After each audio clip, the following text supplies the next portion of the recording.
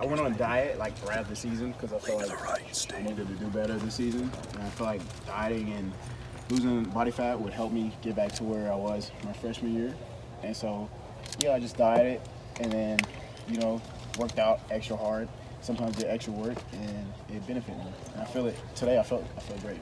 He said you're the leader of the running back, and that obviously goes without saying. Two years you've played here, and uh, just what do you feel about the growth of those younger guys that you're you're dealing with? A couple of them are just getting started with their career. Just what what do you see out of that group as a whole? Uh, they're they're some hard workers, you know. So I feel like if they keep working hard, they'll be good, and they just got to keep learning the offense and just just watch and learn how to do it here so you can succeed. What's the hardest part for those young guys? Is it mental, learning the responsibilities on each play, or is it, uh, you know, can also be, I guess, the physical, the grind of this whole thing day after day?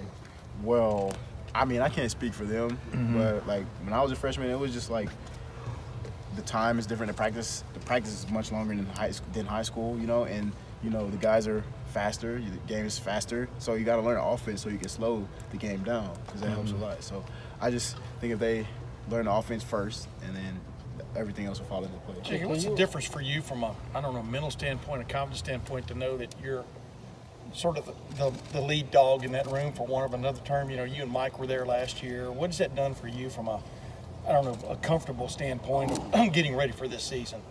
Knowing that they're leaning on you, but obviously you're the number one guy.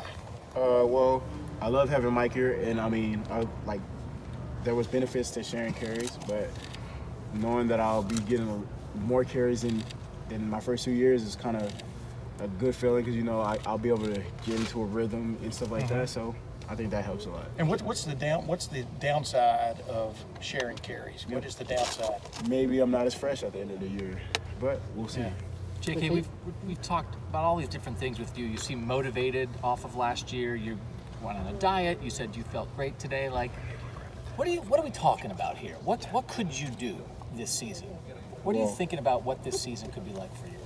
Well, I mean, there's a lot, of, a lot at stake. I mean, my main goal is to win a national championship, of course, and I mean, with that, I just feel like I'm the best running back in the nation, and I want to prove that. And I didn't last year, and I have a chip on my shoulder because I know I can do better.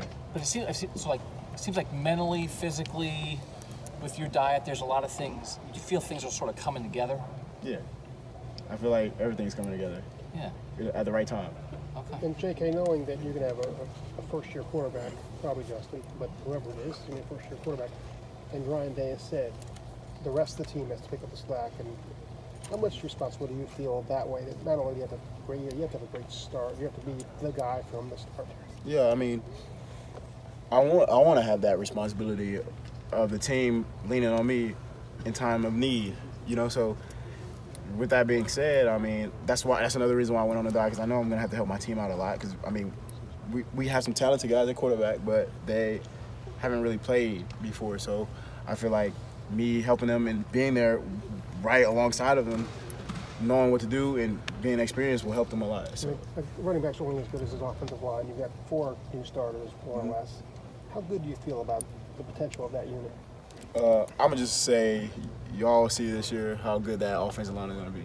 They might be new, but they won't seem new. I mean, there's like some of the new guys. They're all like top 50 national recruits, right? I mean, like Top 50, like top 20. Yeah, I mean, so you see you see that talent there. Oh yeah, they're, they're hard workers, and that's what matters. They got the talent, but they're also hard workers. So you'll see. How does it show up in the? How does it show up literally in what you're seeing from a blocking standpoint? How does it show up? Uh, you know, it just um, things are there. You know, uh, things are going to be there, and I can trust it, and they they're there every time. You know, leaving the field at the Rose Bowl, you said to a couple of us, I mean, basically, um, for want of another term, I'm paraphrasing, uh, national championship or bust, sort of.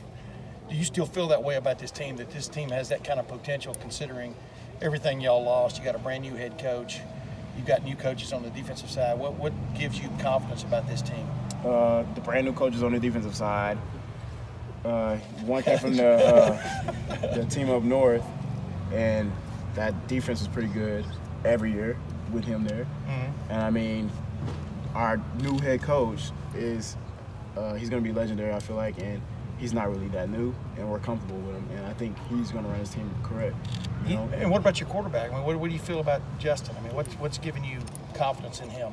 he's a hard worker. He he wants to be great, and that's I think that's a good trait. What's been your guys' Two more questions. over the summer? Like, how was that kind Uh, me and me and Justin, we hang out quite a bit. Uh, you know, outside of the Woody, and so I feel like that'll help us. And uh, I just feel like we connect. I think it'll be good. Coach Day says this a lot that the best way to learn is through failure.